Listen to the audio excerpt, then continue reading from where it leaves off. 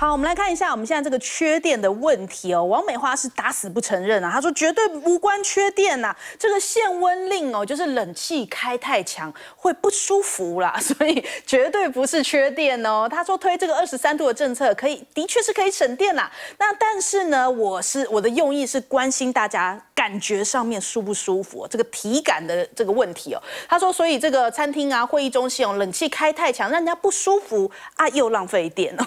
这这想法就跟这个李光耀当初讲说，哦，新加坡成功的秘诀就是冷气机啊，因为这个可能在在热带地区的这个国家，可能温度高就会影响工作效率。他说，所以自己担任这个总理做的第一件事情哦，就是在公务人员的办公大楼里面装冷气。那这也是这个公共事务高效运行的一个关键。哎，这王美花跟李光耀的看法非常的不一样哦。那再来，我们也看看，就很多的梗图就开始出来啦，就说，哦，原来我们室温哦低于这个二十三度要罚十万，但是对比呢，这个行人地狱哦，如果开车撞到路人的话是罚三万六，哇，这个冷气温度罚的比这个撞到人还高哎，所以这个民进党是认为开冷气的罪恶比起撞人开车撞到人还要来的严重吗？啊，我们这样子更理解这个民进党的这个价值标准了。那再来我们看一下这个王美花被大家这样子讲说这个限温令的事情哦。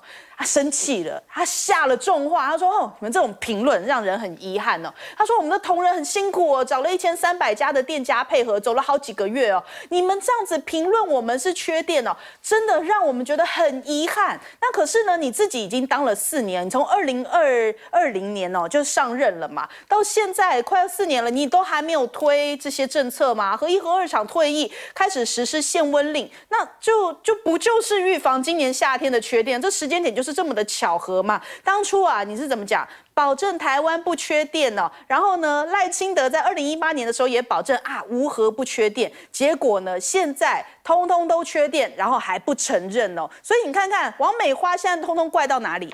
都不是缺电，这是冷气的问题，这是感觉的问题。我问了你们体感的舒适度的问题哦，那是不是有点打脸蔡英文跟苏贞昌嘞？原图是长这样子，我们多了两个巴掌哦，好像你们那时候在推班班有冷气，害到了美花啊，都是你们推什么班班有冷气啊？没有电才舒服嘛，没有冷气更舒服嘛。那再来我们来看一下高雄的大旱哦，三十年来的大旱，现在高雄的半平湖哦，一滴水都不剩了。湖底的裂开，还有树木全部都干枯哦。你看到这个半屏山的山路上面哦，这个完全的这个一滴水不剩，惊喜的对比哦，通通都龟裂了，这非常的严重啊。那你看到还有高雄哦，有两百多个用水大户，现在直接用铅封起来，就说有九百四十四户平均用水破千度的用水大户，减工一到两成。那实施两周之后，还有将近五成没有依照规定节水，所以呢，干脆直接把你签封起。起来，人家想说哇，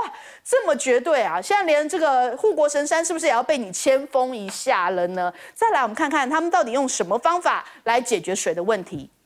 这就厉害了，这民进党现在就用祈雨呀，然后呢求神呢问佛啊，你看看哦，这王美花讲说啊，这个要开凿水井嘛，就这个在风水期前会稳定供应哦，这四月十一号的新闻。可是呢，蔡英文又去向这个妈祖祈雨啊，蔡英文还说哇，总统一来就下雨，现在都开始要用这种义和团的方式来对面对这个缺水、缺电、缺电的问题哦，还有南部这个大水啊，呃大旱啊，不是大水。大大旱水情吃紧哦，这个郑文灿提了这个抗旱的方案，他说这个还是要靠老天爷，要多拜拜，哎，祈求雨水赶快下来。我们以后可能都要跳一些舞啊，祈雨舞哦，希望雨赶快下来。那再来，我们讲到这样，既然有这样子的一个部长哦，我们就不要太高的期待，说我们的台积电会有什么样的一个对对策哦，因为现在他说，呃，艾斯摩尔哦，台积电因为降低了资本支出嘛，所以就直接砍了艾斯。摩尔大概四成的单哦，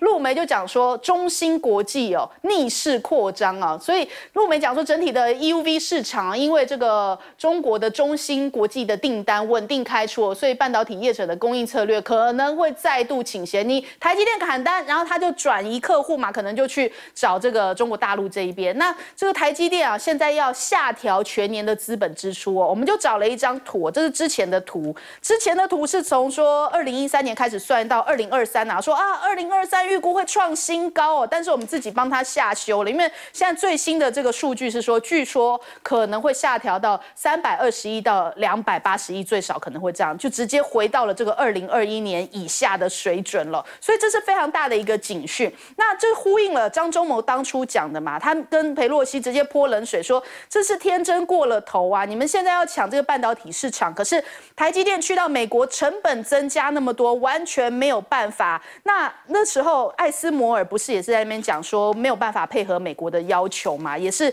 有有有困难嘛，他不愿意配合美国一起来制裁中国大陆，所以这一切似乎张忠谋早就都预料到了。我们先问一下洪薇姐。嗯，我我先讲一下，就是嗯，这个就有关下就祈雨的问题啊，因为蔡玉那时候说，哎呀，这个嗯，这个总统一来啊，就立刻就下雨。那现在呢，南部又有很久很久没有下雨了，那是不是应该让蔡总统恭喜蔡总统再去祈雨一下？不台湾马祖婆吗？哈，对，来祈雨一下，让这个南部能够有点有多点水可以用。上个星期六，因为我跑去那个呃高雄，你知道大张张惠妹的那个演唱会嘛，然后我就我就住宿。那在高雄的饭店里面哈，有时候你住饭店，有时候你就想泡个澡，你知道就在他们那个呃，就是那个澡盆上面就写一个，就是说请节约用水，尽量不要整个泡澡什么之类的，所以你就知道就说。高雄已经缺水到什么样的程度了，你知道吗？还要让让让客人说不，那那当然话，我就想说啊，那那就应该节省一下用水啊，就就不要不要就是对对对对，就就就赶快就这个冲个澡就好了。可是现在已经真的都影响到影响到呃所有的这个民生哈，还有其实你说所有的这个旅馆呐，或者这这些服务业，他们当然希望能够。符合客户的这些需求，所以大家现在不是节衣缩食啊，是节衣缩水啊。那所以请问一下，政府到底可以拿出什么样的一个对策来？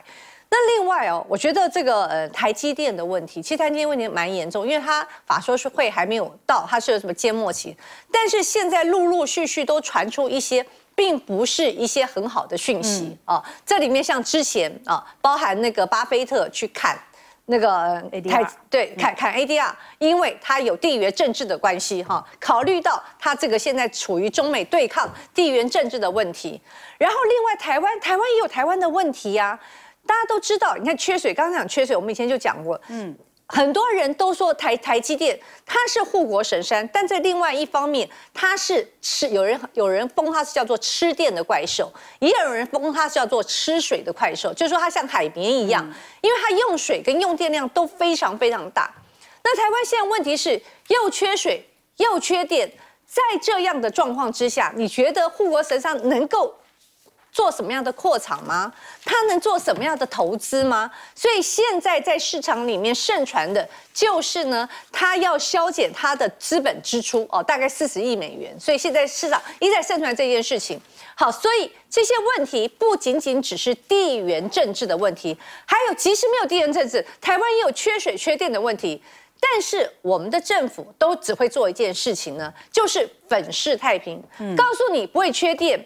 告诉你，那缺水也没有那么严重，记不记得那时候大家都问缺水的问题？对，那个王美花告诉你，没有没有啊，我们中部我们中部都不缺水啊，对不对？呃，南部这个这个蓄水量低一点，可是问题是现在连好现在连石门水库的蓄水量都大幅下降了。那请问一下，政府到底有没有能力，还是天天只会在那边说干话而已呢？嗯，好，请教辉文哥。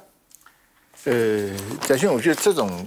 苦日子哈，这种就是不分蓝绿的，就像我刚刚跟大家讲，这个贸易壁垒，好，两岸的关系不好，这个好，这个敌意螺旋哈。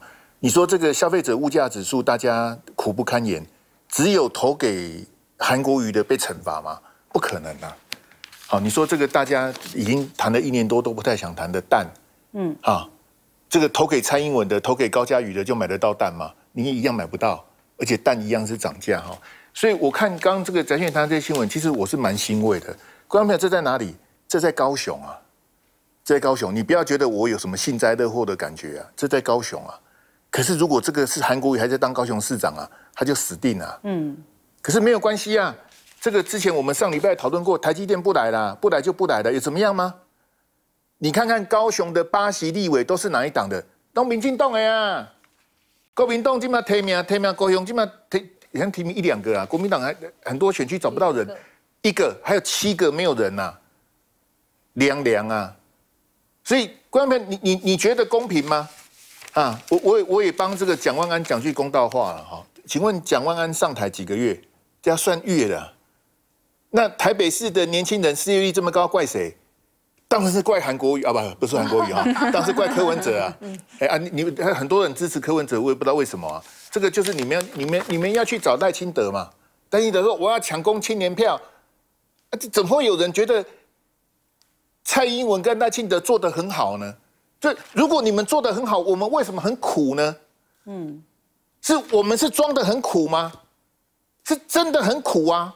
啊，为什么很苦呢？就是你执政不好啊！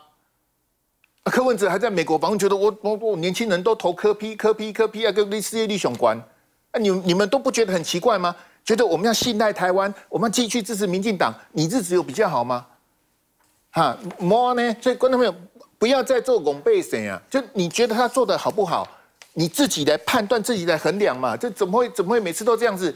这个对我那不是说我要帮国民党拉票，是我们现在执政执政党是民进党，就是我们要对民进党的期末考。蔡总统要交棒给赖清德，你觉得赖清德这个执政你满意吗？这样的两岸关系，这样的经济状况，好，这个这这么这么高的这样的这个失业率，这些年轻人，你你们不是很讨厌国民党吗？对不对？那你就继续投柯文哲，继续投民进党，看你有没有工作。好，这个这个是党跟党之间，候选人跟候选人之间是要比较的，请大家动脑想一想，不要被你的意识形态给框架住了。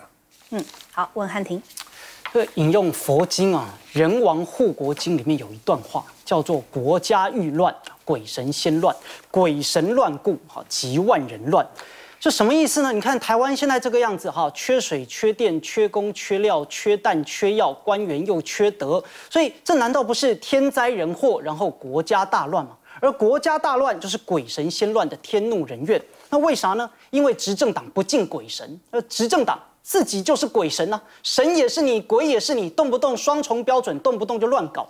那当然了，旁边我们要补一句叫民俗说法不可尽信啊。有人说，你看这个很迷信啊，哎，迷信。现在我们执政党缺水，然后要靠祈雨，然后要去拜一拜，这还不迷信吗？难道有比这更迷信的执政党吗？有比这更不讲科学的执政党吗？所以，为什么我们的所谓官员跟立委遇到缺水，然后要讲说啊，你看这总统来了就下雨啦，那么我们要去多拜拜，要多祈雨啊？哎，他正经的事不干。什么是正经的事情？就是认真去检讨我们在二零一七年跟二零一八年的前瞻基础建设计划，在水环境的这个资源里面，我们总共投注了一千八百零七亿元，为什么还是缺水？钱都花到哪里去了？那到底所谓的再生水到哪里了？到底所谓我们的节流开源又在哪里呢？或者我们的浮流水又在哪里呢？我们对于水库的整治进度如何？通通没有人检讨，没人检讨怎么样啊？干脆来祈雨，对吧？就只要大家来祈雨，就不会有人记得啊，原来我们曾经花钱想要去增加供水的问题。也别忘记了，我们在二零二一年，就前两年的三月份，那蔡英文啊，行政院一样又推出了啊一个所谓增水计划，又增加了一百六十亿。那这一百六十亿又花去哪里了呢？不要问啊，不要问，反正我们缺水就是祈雨啊，总统来就下大雨就好了。就在搞愚民教育啊，真正在用宗教治国啊，这就是现在民进党在干的事情啊。以前告诉大家说啊，你看如果要这个计划，我们就不缺水、不淹水、喝好水，结果一个都没有实现。但最关键，到底钱又跑去哪里了？那到底有没有成效？那当时负责的是谁？不就是领头的赖清德吗？结果现在赖清德还要出来继续选，然后他说哦，我能够给大家带来民主、和平、繁荣啊，民主、和平，我们下一段再讲。但繁荣呢？现在哪里有繁荣啊？现在老百姓的生活哪里有繁荣呢？什么东西都缺，繁荣何在？我看只有繁荣到民进党自己的荷包吧。所以官员是越来越繁荣了，但是小民的生活是越来越贫穷了啊！不是讲说搭飞机还要被拒绝的那个小民，我们贫困的市民或者讲我们一般的老百姓，我们生活并没有在这几年过得越来越好啊！实际上越来越好、越繁荣的是谁？就是只有民进党的肥猫自己。所以感觉起来，这个民进党感觉好像变成了一个宗教信仰哦，就是不要讲太多，相信就对了，信赖台湾就对了。然后你不要问他们到底做了些什么事情。我们先休息一下，广州马上回来。